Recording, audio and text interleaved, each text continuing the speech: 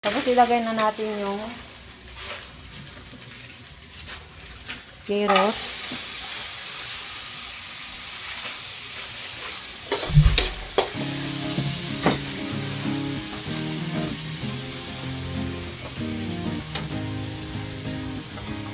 Yung broko, ah, cauliflower muna. Kasi matigas matigas yung cauliflower. Eh.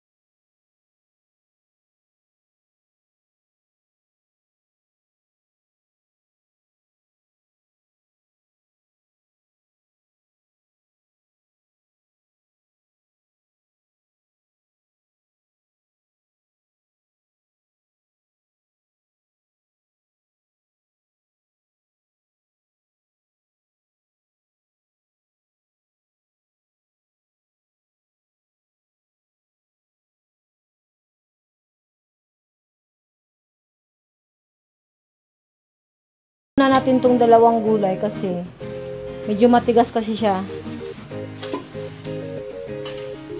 Half cook na po yung gulay natin. Ilalagay na po natin yung